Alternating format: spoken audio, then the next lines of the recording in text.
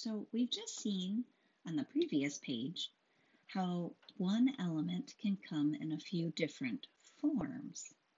The fancier scientific word for one of those forms of an atom is the word isotope. So we have three different isotopes of carbon.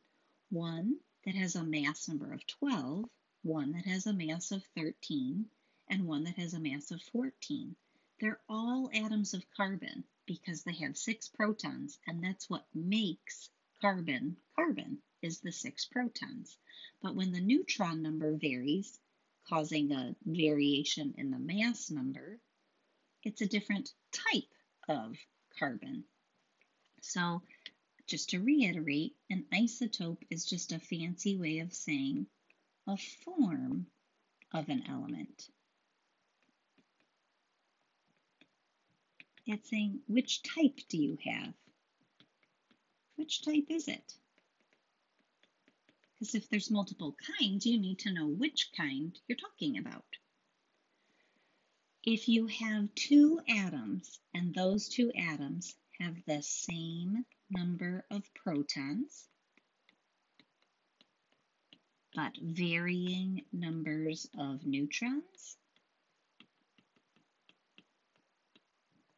then we could say that they are isotopes of each other. That they are all variations of the same element same number of protons, but varying number of neutrons. Now, one thing I wanted to emphasize is that every single atom on the planet is an isotope. It's just that some isotopes are more common and some are more rare. There's somewhere along the way in a lot of students' science upbringing before they get to chemistry. I, I don't know what happens there. There's a little bit of a disconnect in this vocabulary there's a lot of students that incorrectly think that there's something like the regular form of an atom and that the word isotopes only refers to the rare form of an element, but that's not the case. Every single atom in the world is an isotope. It's either a common isotope or a rare isotope.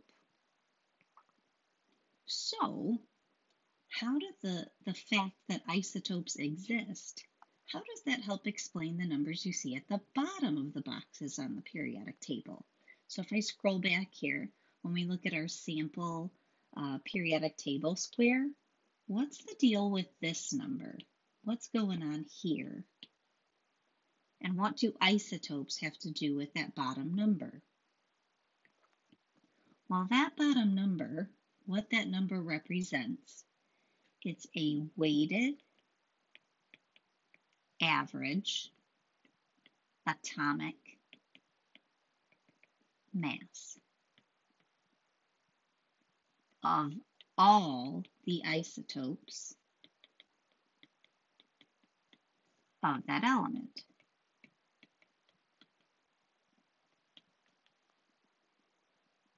It's a weighted average. What that means is it's kind of like your chemistry grade, how your chemistry grade is uh, 90% assessments and 10% other. Um, that your assessment grades are worth more in the end than your lab notebook grades or something like that. That it skews the average in favor of the more important category. Well, when we look at that, um, that there are three different types of carbon carbon with a mass of 12, carbon with a mass of 13 and carbon with a mass of 14. And then we look at the information on the periodic table there that carbon has a weighted average atomic mass of 12.011. What that tells me is that there must be a lot of carbon 12 atoms out there in the world because the weighted average is skewed to be really close to 12. And there's just a little bit of carbon 13 and carbon 14 out there in the world that brings up that weighted average just a hair. And so it's skewed in favor of the most abundant isotope, the one that shows up in nature more frequently. So just another uh, example of what isotopes are all about and weighted averages and how do they do that. So just to kind of put it in terms of food, uh, what if you had Skittles, plain M&Ms, peanut M&Ms, and sweet tarts? All of those are forms of the element candium, right? They're all types of candy. Um, and so we would say that they're all isotopes of the fake element candium. But the masses of each type of candy are a little bit different, right? Like a peanut M&M weighs a little bit more than a plain M&M does. As a result, when you get, if you had a periodic table square for candium, it depends on your sample of candy, of what number goes at the bottom of that square. Does your bag of candy, is it mostly made up of peanut M&Ms? Or is it mostly made up of sweet tarts? You know, which candy is the most prevalent, and then we would skew that weighted average in whatever form of candy, whatever isotope of candy is the most abundant.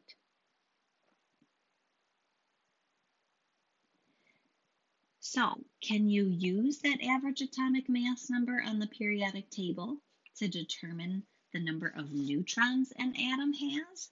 Why or why not? No. You can't. There's no atom that exists with that mass on the entire planet, even in outer space. There is not a single atom of carbon anywhere in the world that has a mass of 12.011. It doesn't exist. That number is just an average of all the isotopes of carbon. So just to give you another analogy, let's say you took two tests in chemistry and you got an 80% on the first one, and then you studied a little bit harder for test number two, you got a 100%. If I said to you, what's your test average in chemistry? Your average is a 90. Well, you never got a 90 on a test, right?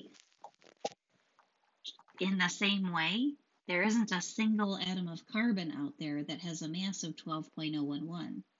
There's carbon atoms that have a mass of 12 or 13 or 14, but there is no atom of carbon with a mass of 12.011.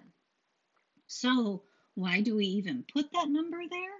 Well, we're going to need that number, but not in the chapter that we are currently working on, not on today's notes. We don't need that information just yet. The only thing you'd need off your periodic table for today is that atomic number only.